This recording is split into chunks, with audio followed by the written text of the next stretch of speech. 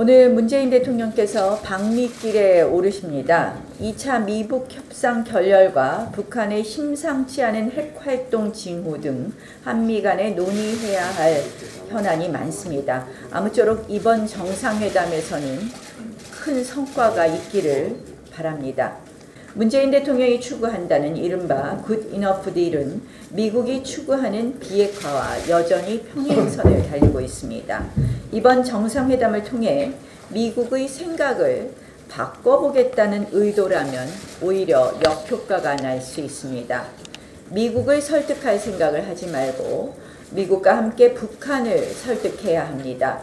트럼프 대통령 입장을 바꾸려 하지 말고 김정은 위원장의 생각을 바꾸려 해야 합니다. 우리에게 필요한 것은 good enough deal이 아닌 finally good deal입니다. 선 비핵화 후 협력입니다.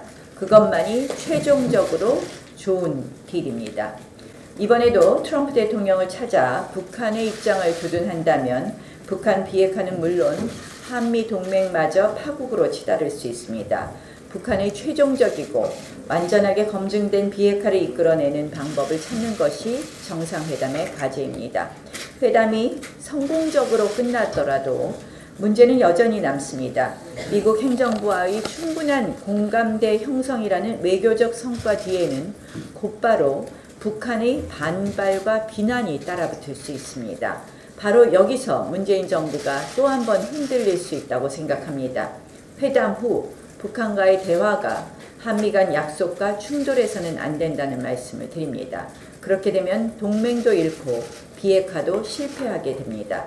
이번 방미 동맹 방미를 통해서 한미 동맹을 다지고 또 북한의 비핵화를 위한 묘책을 찾기를 바랍니다.